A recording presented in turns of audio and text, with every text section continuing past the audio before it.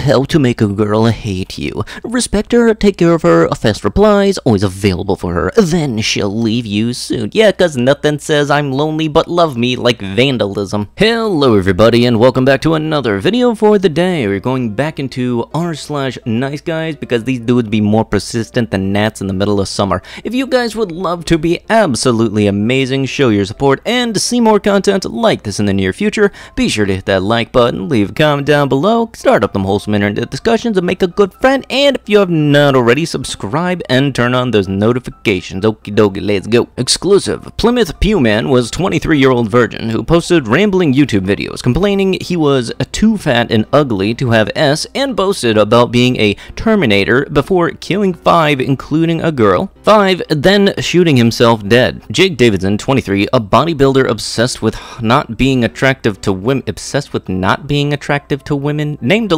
as the killer. He spoke of affinity with incel movement, whose misogyny members have carried out mass murder in the US, and let me guess, they're gonna idolize him too now, aren't they? I did not know you could be obsessed with not being attractive. I thought it would always be nice to look nice. Him, feeling brave, he finally asked her, "Uh, Do you even like me? Her, sorry, I only date guys who are six foot seven, but we could still be friends, right? This says a lot about society. Look, if your only reason to not date someone is because of their height, like, that's a little weird, but making a meme whining about it is even worse. Riddle me this. Girls, you expect men to approach you and make the move first, e.g., approaching at bars, offering the to visit cafes, and go out for drinks, etc. However, you also see men who encourage meeting to get to know you better and try to build the friendship assumed desired by both sides as creeps. Could someone explain this to me? Is it a case of is the man hot, then it's confident, but if the man is ugly or doesn't message a desired, then it's creepy? I think it all really comes down to like if you're going to ask somebody out, maybe clean yourself up first, because uh, don't complain if they don't want to date the garbage pile. I don't think guys in their 20s who are upset about having no relationships are upset because they feel like they're owed a relationship. I think it's more because they feel like they deserve it. Now, I'm not saying some deserve it any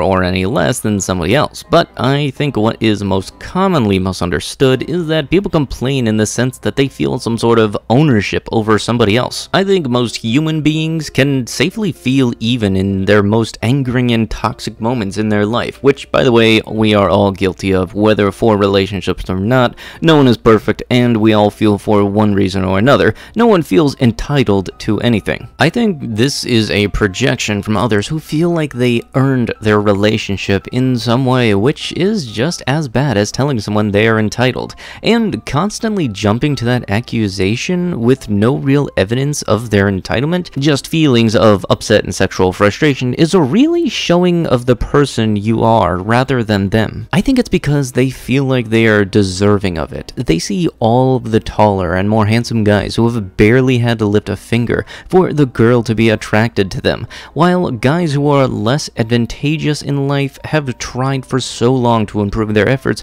while still receiving little to no result. So, in my opinion, as someone who has experienced this also, I think this is a natural reaction to feeling so helpless and so inferior to other men who seem to be feeling so much success all the time while dating. That's why people become aggressive when you accuse them of entitlement because you just look like an entitled a-hole yourself, more than they do, because they know it takes a lot to succeed and have tried and spent so long trying. This is also more so something I was thinking of while I was reading this. Uh, if you lose weight either to spite someone or for the purpose of getting girls, uh, sure, that may work, but in the event it doesn't work, you're going to lose all your motivation and be back where you back where you were in the beginning. If you go to improve yourself for the sake of your own well-being, there's nobody that's going to turn you down, and not really a way for you to lose motivation. Weirdly enough, it actually had me remembering the Scott Pilgrim versus the World movie, and like the final power-up being the power of love versus the power of self-respect, and the self-respect one had so much more buffs to it. But yeah, I don't know where I got off on that tangent, but bottom line, improve yourself for the sake of improving yourself, not for the sake of getting something else or thinking that you deserve something else just because you've improved your situation. There's a movie playing in your location. you wanna see it? Whoops, I just saw this. You mean tonight?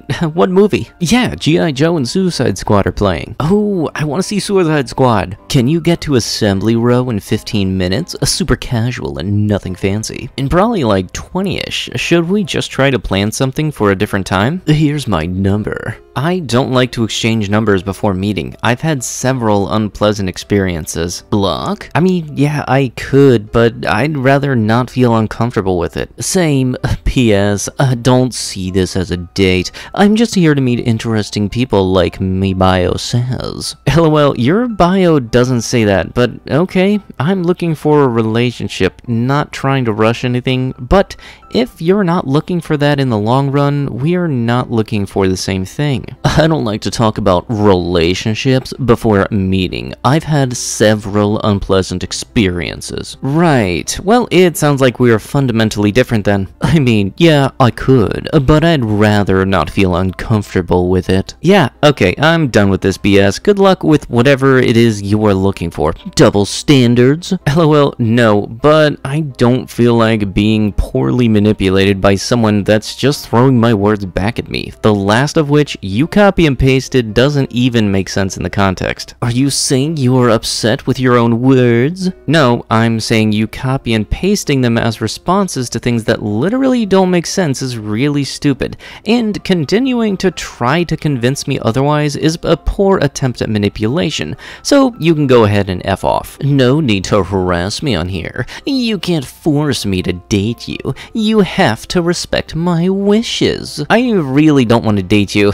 Again, uh, good luck with whatever it is you are looking for. Yeah, dude trying to still act slick. He's the only type of dude right now that could roll a 20 in D&D and hit a 0. Plus also, you're trying to act smart when obviously you're not, because seriously, you don't even know what the definition of double standards is, my dude. Not only that, but on top of the fact that all of this pissiness started over the fact that the dude wanted her number when even even though they had already started a conversation. Like what what's wrong with keeping the conversation going on the app you guys met in the first place until you actually do the date? All of you disgust me. I want them guts and them afterwards. You can order an Uber, since after all, you are an independent woman who doesn't need a man. So yeah, I'll dig out them guts for you, then send you right back home where you can be alone at. You women ask the same thing. It's so weird. LOL. No one heard me. My about me is rude no matter what. I play zero games with women, and you can try me in person, wherever. Prettiness, kitty, booty, boobs don't move me. I won't lie, it is an amazing, but this I personally view women as beneath me. Not that I'm a total donghead, because I actually am very nice. He's in, boys! He did it! He said it! But I just see it that way. I've never understood how a dude can comment and pedestalize a woman. You do seem great. I never said you weren't. We just met. So you believe you're more superior than women? Absolutely. Physically, mentally, everything. We as men go through heck to earn our spot in life. A woman is born with value. How pretty she is naturally. A man has to fight his way to any success, A social status, everything. Yeah, I'm honestly starting to come to realize that Bumble posts from nice guys honestly are just becoming a guilty pleasure of mine because it's it's like you know you read all the terms of how it works and then you still mess up. Because anybody that doesn't know how Bumble works, for any matches where it's a guy and a girl talking, the girl has to be the one to start the conversation, which means there was actually something going in the first place, and then this dude screwed it up. I hate dealing with snobby girls. I've messaged several women on Facebook asking if I could take them out to dinner, and none of them replied. How do you just not reply? They didn't even say no. I'm offering to pay you for your dinner wherever you want to go, and you don't even acknowledge me? It's okay, I'll find a woman who appreciates me. I grew up with snobby, stuck-up girls who thought they were better than everyone, and I hate it because most of my teenage memories are of me trying to measure up to snobby girls who would never give me the time of day. Some women just think that you're even unworthy to talk to them. They find it offensive. Those are the kinds of women I grow up with and keep running into. And you're still not willing to point the finger at yourself. Dude, maybe some of their attitude rubbed off on you, cause I'm feeling a little bit of snob coming off of this whole post itself. Honestly, I would just be glad they didn't mark me down as free food in their contacts. I work a full time as a valet and a bellman for a five-star hotel here.